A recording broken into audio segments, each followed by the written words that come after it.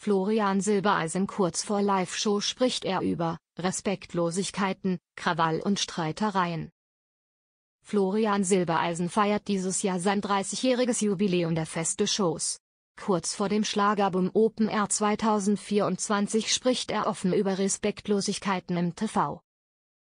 Seine Fans können es kaum erwarten. Am 8. Juni 2024 steigt endlich das große Schlagerboom Open Air in Kitzbühel moderiert von Schlagerstar und Entertainer Florian Silbereisen. Der Sänger feiert dieses Jahr sein 30-jähriges Jubiläum von den Feste-Shows auf ARD. Diese begeistern seit Jahren die Menschen vor den Bildschirmen und im Publikum. Florian Silbereisen, ich weiß, dass es cooler ist, in Unterhaltungsshows zu lästern. Welches Erfolgsgeheimnis sich hinter seinen Shows verbirgt, verrät Florian Silbereisen in einem offenen Schreiben gegenüber der Super-EU.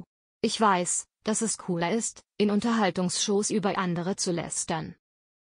Mit Respektlosigkeiten, Krawall und Streitereien kann man schnell für Beifall, Quoten und Schlagzeilen sorgen, schreibt der Schlagerstar überraschend.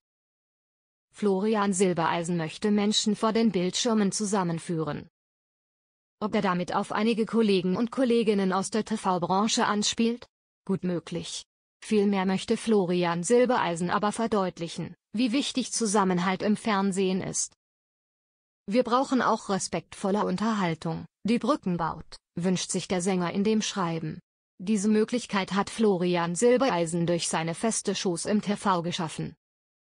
Gerade in einer Zeit, in der immer wieder betont wird, was uns trennt, bin ich dankbar, dass wir mit unseren feste Shows immer wieder Millionen Menschen vor den Bildschirmen zusammenführen können sagt Florian Silbereisen und möchte auch genau das in Zukunft seinem Publikum weiterhin bieten können